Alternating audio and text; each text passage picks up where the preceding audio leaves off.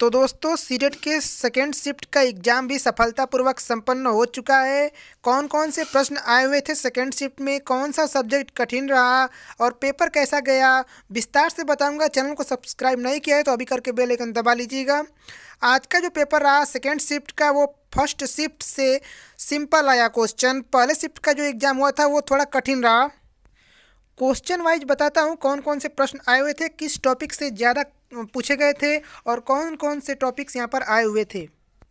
बात करेंगे हिंदी सब्जेक्ट को लेकर तो सबसे सिंपल क्वेश्चन इसमें आए थे हिंदी में और संस्कृत की बात करें तो जो अभ्यर्थियों ने हमें बताया है कि संस्कृत थोड़ा कठिन रहा, लेकिन उन अभ्यर्थियों को जिन्होंने हमें बताया है और सिंपल भी थे क्वेश्चन संस्कृत वाले। मैथ की पेडोगोजी की बात करें तो थोड़ा क्वेश्चन टफ रहा, लेकिन बहुत ही सिंपल आया था इसमें भी। यहाँ पर बात करते हैं ईवीएस की। तो ईवीएस में दोस्तों बहुत ही आ, सिंपल सिंपल प्रश्न आए थे। हालाँकि फ़र्स्ट शिफ्ट में थोड़ा कठिन रहा। यहाँ पर पूछा गया था प्याजे की स्टेज में और पिगेट से संबंधित प्रश्न आए हुए थे। समावेशी शिक्षा से कुछ प्रश्न यहाँ पर निकले। अवसारी से आए थे और पेडोगोजी से भी कुछ सिंपल सिंपल क्वेश्चन ही आए थे। हालाँकि रटने युक्त प्रश्न नहीं थे। समझने वाले सब बिल्कुल प्रश्न आए हुए थे।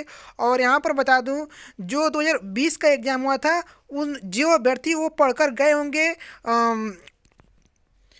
प्रीवियस ईयर क्वेश्चन पेपर उन्होंने सॉल्व कर लिया होगा, बिल्कुल सिंपल क्वेश्चन आए हुए थे, पहले शिफ्ट के अकॉर्डिंग चैनल को सब्सक्राइब कर लीजिएगा, क्योंकि अगले वीडियो में पीडीएफ की लिंक मैं आपको दे दूँगा, वहाँ से आप डायरेक्ट क्वेश्चन पेपर का पीडीएफ डाउनलोड कर सकेंगे.